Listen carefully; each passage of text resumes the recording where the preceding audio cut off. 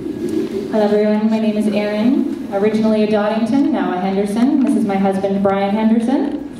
Got married June 9th.